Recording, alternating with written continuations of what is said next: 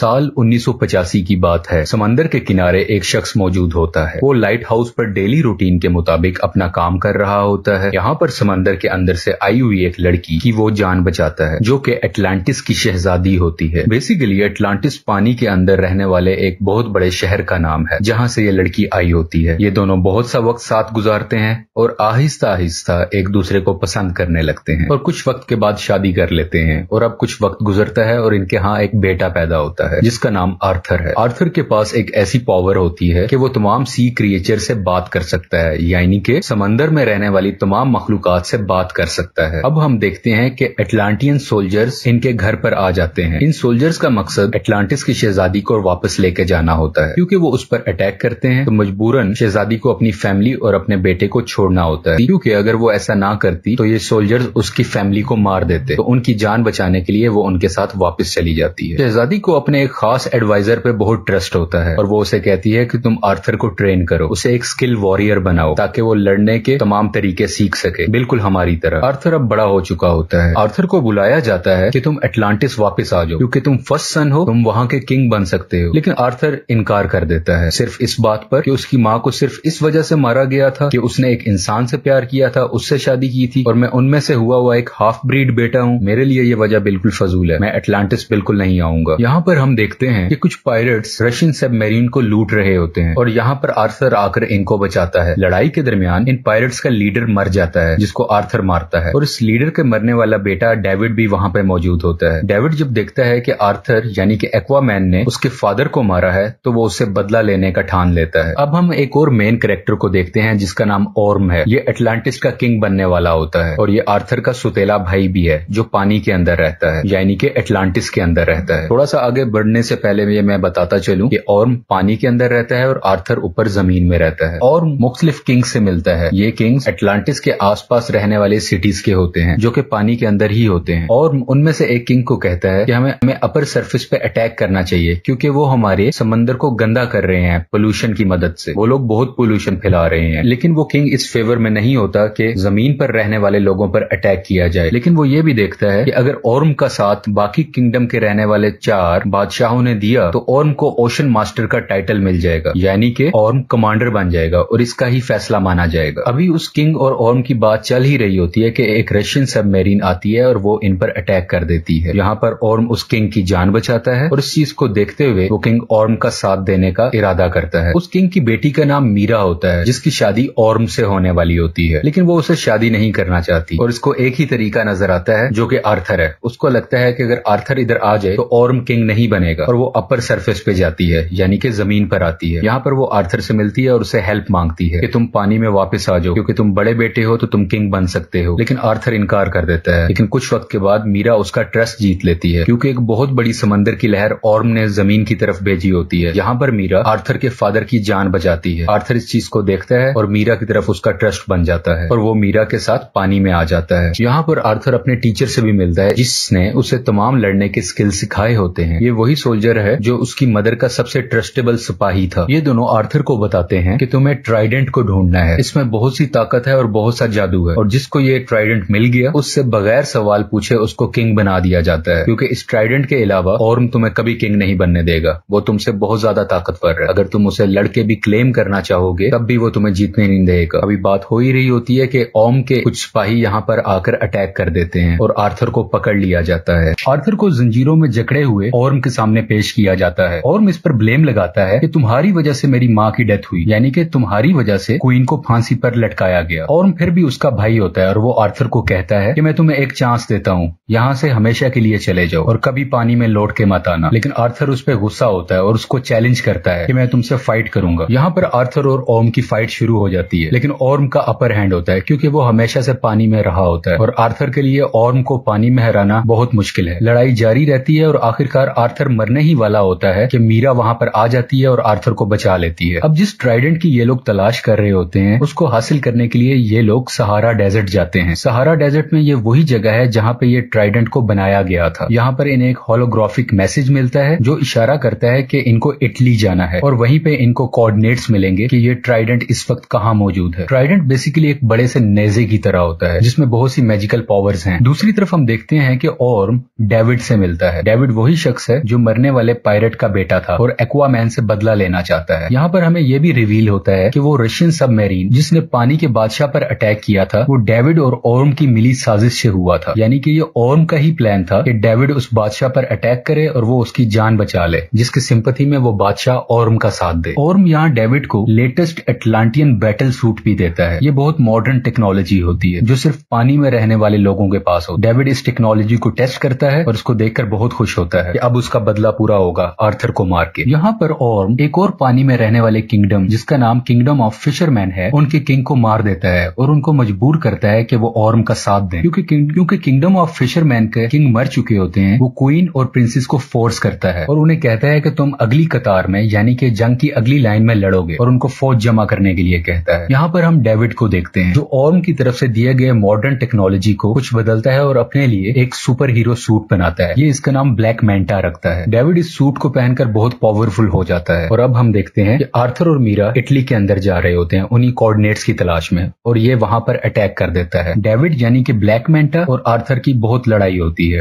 Bill आखिर Arthur David को पहाड़ से नीचे फेंक देता है, लेकिन इस लड़ाई के दरमियान आर्थर बहुत जख्मी हो चुका होता है। मीरा आर्थर के जख्मों को ठीक करती है और उसका हौसला बढ़ाती है। वो उसको कहती है कि तुम्हें किंग बनना है। और तुम इतने कमज़ोर नहीं हो सकते। तुम्हें करेज दिखानी होगी, एक किंग की तरह। और अब वो ट्राइडेंट की तलाश में निकल पड़ते हैं। सफ़र के दरमियान ये लोग डिफरेंट मॉन्स्टर्स का सामना करते हैं और इनसे बचते बचाते बहुत मुश्किल से अर्थ के दरमियान वाले हिस्से में पहुँच जाते हैं। यानी ये पूरी अर्थ का सेंटर है। यहाँ पर वो पहली बार अपनी माँ को देखते हैं, यानी कि क्वीन एटलाना जिसने खुद की कुर्बानी दे दी होती है इस ट्रेंच में आके। क्योंकि इस ट्रेंच में आने का मतलब है मौत फांसी लेकिन क्वीन एटलाना भी बच चुकी होती है। उसको कुछ नहीं हुआ होता और वो काफ़ी अरसे से यहीं पे सर्वाइव कर रही है। और अब आर्थर और मीरा भी यहाँ पे मौजूद हो जाते हैं। ये तीनों आपस में मिलते हैं। ये और ये एक इमोशनल सीन है। अब ये ट्राइडेंट के बहुत करीब है। लेकिन आर्थर यहाँ से अकेला ही आगे जा सकता है। मीरा या उसकी माँ उसका साथ नहीं दे सकते। आर्थर आगे बढ़ता है ट्राइडेंट की तलाश में। इसको वो एंशियंट ट्राइडेंट मिल जाता है। लेकिन जब वो उसको हासिल करने जा रहा होता है तो इस पे लिविएथन अटैक कर देता है। बेसिकली लिविएथन इस ट्राइडेंट का कीपर होता है। यानी कि इस ट्राइडेंट की हिफाजत करता है। लिवाइथियन ड्रैगन और सांप की तरह होता है। ये बहुत बड़ा होता है। और वो उसे ये भी कहता है यहाँ से जो भी हासिल करने आया था, वो वर्दी नहीं था और उन सबको मैंने मार दिया। जैसा कि हमने शुरू में जाना था कि आर्थर समंदरी मखलूक से बात कर सकता था तो ये उससे बात करता है। तो ये ड्रैगन और सांप जैसी मखलूक, इसको कहती है, क्या तुम मुझे सुन सकते हो? आज से पहले किसी ने मुझे नहीं सुनी आर्थर उसे अपनी वर्थ बताता है और क्लेम करता है कि ये ट्राइडेंट का हकदार मैं हूँ और मैं वर्दी हूँ कि सेवन सीज पर मेरी हुकूमत होनी चाहिए। बिल आखिर लवाइथियन उसकी बात मान लेता है और आर्थर उस ट्राइडेंट को हासिल कर लेता है। ये ट्राइडेंट हासिल करने के बाद आर्थर की पावर्स बहुत ज़्यादा बढ़ जाती और उसका कॉस्ट्यूम भी चेंज हो जाता है। समंदर के अंदर रहने वाले तमाम किंगडम्स ओर्म का साथ दे रहे होते हैं। इसी वजह से ओर्म खुद को ओशन मास्टर का टाइटल दे देता है। यानी कि अब इसके डिसीज़न चलेंगे। यहाँ पर ओर्म का साथ देने वाले किंगडम्स को पता चलता है कि आर्थर ने ट्राइडेंट हासिल कर लिया है। और रूल और कानून के मुताबिक जिसके पास ट्राइडेंट होगा, वही असली किंग होगा, वही ओशन मास्टर होगा। उससे कोई सवाल नहीं पूछा जाएगा। इनको कंफर्मेशन मिलती है कि ट्राइडेंट अब आर्थर के पास है। लेकिन ओर्म को गुस्सा आता है और वो कहता है कि ट्राइडेंट हासिल करने से कुछ नहीं होता। जो सबसे ज़्यादा बहादुर होगा, जिसके पास ज़्यादा स्किल्स होंगे, वही ओशन मास्टर होगा। वही सब किंगडम्स पर हुकूमत करेगा। यहाँ पर एक बार फिर से आर्थर और ओम की लड़ाई होती है, जो एक सबमरीन के ऊपर हो रही होती है। आर्थर ओम को इस लड़ाई में हरा देता है, लेकिन वो इसको जान से नहीं मारता और इसको ज़िंदा छोड़ देता है। और यहाँ पर क्वीन एटलाना भी सामने आ जाती है। वो जब देखता है कि आर्थर ने उसकी मदर की जान बचाई है, वो अपनी किस्मत को मान लेता है और हार मान के खुद की गिरफ्तारी दे देता है और एटलांटिस के सोल्जर इसको पकड़ कर ले जाते हैं और मूवी यहाँ पे खत्म हो जाए अगर आपको एक्वामैन फ़िल्म की एक्सप्लेनेशन पसंद आए तो प्लीज़ लाइक और सब्सक्राइब करें। और अपनी फीडबैक कमेंट सेक्शन में बताइए। Thank you for watching